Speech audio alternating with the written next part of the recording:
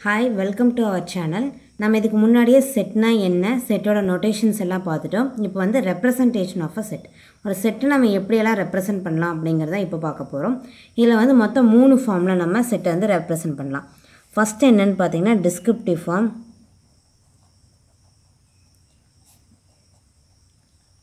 Second one வந்து set builder or rule form third one roster or tabular form. இந்த மூணு form தான் இருக்குது என்னென்னா descriptive form set builder or rule form roster or tabular form இந்த மூணு ஃபார்மில் டிஃபைன் பண்ணலாம்.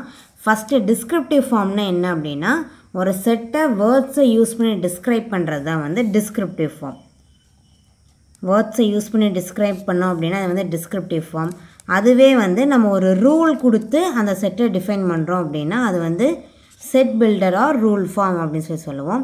தேர்டு ஒன் வந்து ரோஸ்டர் ஃபார்ம் இது எப்படின்னா நம்ம நார்மலாக செட் எழுதுவோம்ல அந்த மாதிரி தான் கமா போட்டு எழுதுவோம்ல எல்லா ஐட்டம்ஸையும் லிஸ்ட் பண்ணி அதுக்கு பேர் தான் வந்து roster or tabular form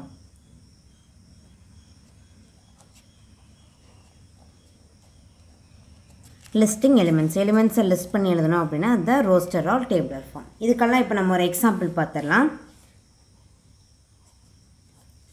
first வந்து கேபிட்டல் ஏ அப்படின்னு ஒரு செட் இருக்குதுன்னு வச்சுக்கோங்க. அதில் வந்து A E I O U so set of all vowels எடுத்திருக்கோம்.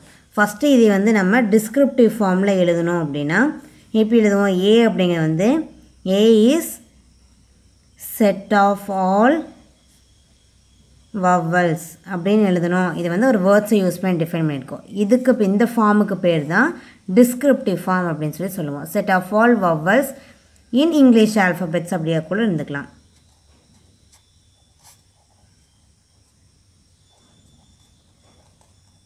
இங்கிலீஷ் ஆல்ஃபபெட்ஸில் இருக்கிறதெல்லாம் வந்து செட் அப்படின்னு நம்ம நோட் பண்ணியிருக்கோம். அதை வந்து இதுக்கு பேர் தான் டிஸ்கிரிப்டிவ் ஃபார்ம் இது வந்து வேர்ட்ஸை யூஸ் பண்ணி describe பண்ணியிருக்கோமா?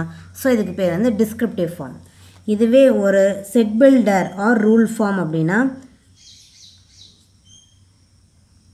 set builder or rule form எப்படி இருக்குன்னு பார்த்தீங்கன்னா இதே செட்டை ஒரு ரூல் கொடுத்து எடுத்திருப்போம்.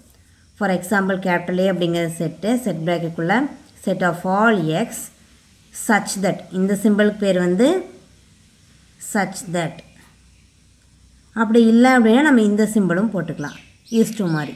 இந்த சிம்பிளுக்கு பேரும் நமக்கு சச் தட் தான். இந்த ரெண்டு சிம்பிளுக்கு நேமுமே நமக்கு சச் தட் தான். செட் ஆஃப் ஆல் எக்ஸ் எல்லா எக்ஸுமே இருக்கும்.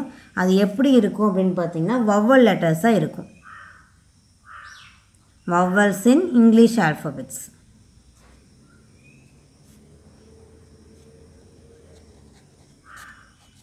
இதுக்கு பேர் தான் set builder or rule form ஒரு ரூல்ஸ் கொடுத்துருக்கோமா? எல்லா எக்ஸும் இருக்கலாம். அந்த எக்ஸ் எல்லாம் எப்படி இருக்கணும்?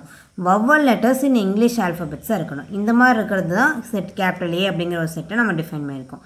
இதுக்கு பேர் set builder or rule form roster form அப்படின்னு பார்த்தீங்கன்னா